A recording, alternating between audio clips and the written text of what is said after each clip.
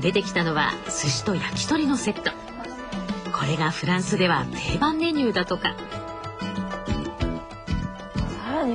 寿司の他に山盛りのご飯もついています。これは何？チーズの匂いがする。チーズ？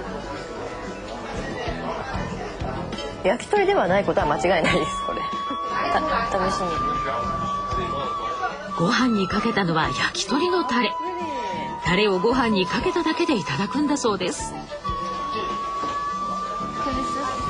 これはね 日本では知らない世界でしたね。そんなちょっと変わった日本食がフランス人には大人気なんです。ご飯にこれかけました？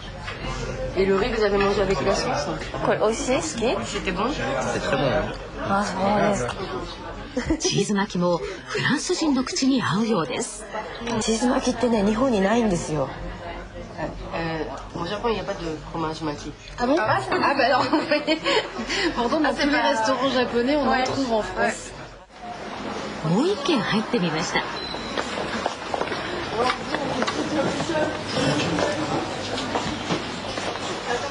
うどん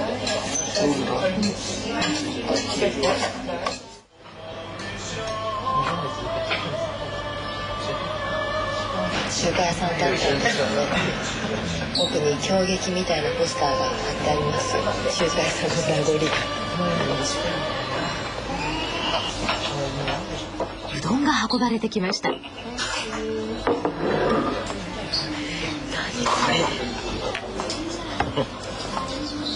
おうどんに焼き鳥が浮いてる。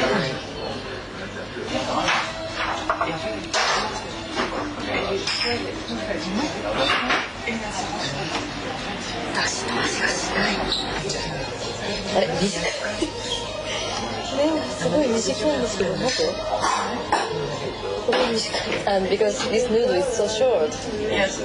And you want to know why? Yes Dès que c'est des petites nouilles, je voudrais savoir pourquoi elles sont si petites. Sinon, il faut... 長すぎるから切ってるんですか c'est normal. I see. Thank you. あえて切ってるんですね。パリは今寿司のデリバリーが大人気。この可愛らしい車がトレードマークのプラネット寿司は現在パリに5店舗展開。今年店舗を倍増する計画です.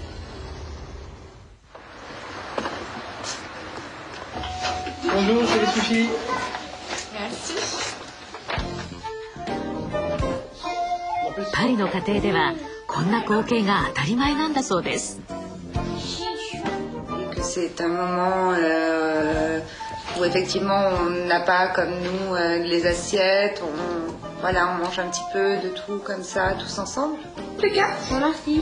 プラネット寿司はサーモンや卵で巻いたカラフルな巻き寿司が特徴中でも人気はヘーゼルナッツチョコレート巻きです À la fin, moi j'aime bien les sushis au Nutella, c'est trop bon.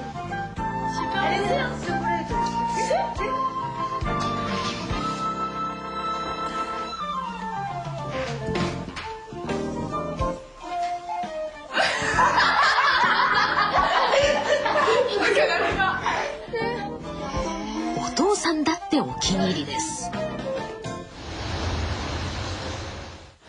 店舗までチェーン展開しているパリコに人気のお店なんです。パリでも高級なエリアにあるこの店。昼時になると店内はビジネスマンや近所のマダムたちでいっぱい。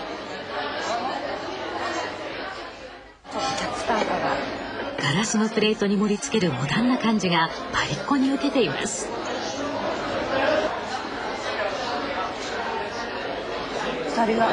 なかなかの具合です。の店でもご飯にタレをかけていました。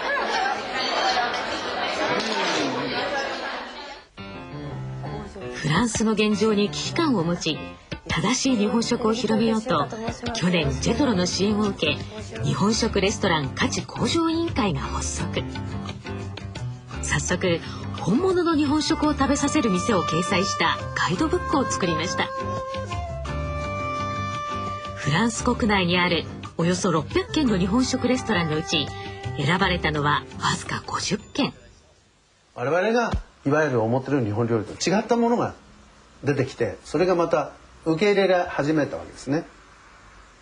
だったらその中でも我々が日本料理と言われてる味はこれのレストランですよと教える義務は絶対にあるんです。でそういうレストランにしていこうとその他の方々も他のレストランの方々もそういう努力をしてくれればそれは日本の文化にとってもいいし日本政府にとってもいいしあの輸出振興にもなるし、えー、全て日本にとってはメリットがありますよね。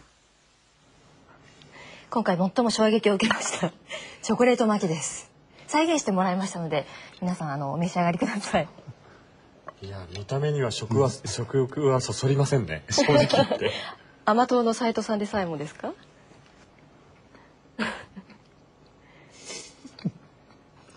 あいやヘーゼルナッツチョコレートと寿司飯。合わないね。合わない？ダメですか？さんもダメですか？まあ寿司と考えない方がいいですね。まああの独自のものだなっていう印象ですよね。うん、パリに関してはですね、なぜこんなに中華系が多いのかと思ったらですねかつて非常に不衛生な環境で中華を作っているのが映像でテレビで流れて中華離れが起きて一斉に日本食に簡単だろうと飛びついているような状況なんだそうです。はい、亀澤さんも驚きの日本食を見た覚えがそうですね。私は昔あの東ヨーロッパを担当してたんで、ええ、あの東ヨーロッパの県内もしょっちゅう行ってたんですけども当時はもう日本食ごく一部あったんですけどもほとんど日本人の方が調理をするっていうところはなかったので、え、まあいわゆるその本物じゃないという言い方になるのかもしれないですけどもでまあどんなとこありました？いやあの各国それそれぞれありますけれども、はい、ものすごいあの雰囲気のその現地の女性がですね日本の着物を着たりという 感じもありましたけれどもで、えー、決して日本とは違うんですけどもあのそういうところに行くとやっぱりあのなんていうんですかねじゃあどういう人がここに来てるんだろうとかね、あのどのくらいのそのあの価格帯なんだろうっていうのが気になって結構それがですね新鮮で面白かったりするんでむしろなんていうんですかねその取材意欲をかきたてられるみたいな 感じで言ってましたけどね。なるほどね。はい、まあパリでなぜこの制度が必要かというその根拠としてですね、うん、あの主張してらっしゃるのがこういうことなんです。これ主要な都市の日本人のビジネス人口なんですが、ニューヨーク、ロンドンに比べてパリはこんなに少ないんですね。だからこそ日本物の日本食レストラン広がらないし、日本食のまあなり損ないみたいなものがこう放置されてしまうっていう。うんことなそうなんですけどね。うんうん、あとフランス人がそのなんですかそういう新しいもの好きだったり創作料理に関心を示す人たちっていうのも関係してるんじゃないですかね。ああ、うん、割と食にそのその開放的というかね。あのドイツゲルマン系の人たちが結構保守的ですから、えー、あそこまでぶっ飛んだ日本食があるのかどうか知りませんけれども、えー、あの結構保守的なあのヨーロッパの中でもね保守、うん、食に対して保守的な民族とそうじゃない民族ってあるようですよ。うん。えー、グルメのフランスだからこそなんでしょうかね、うん、そこはね。はい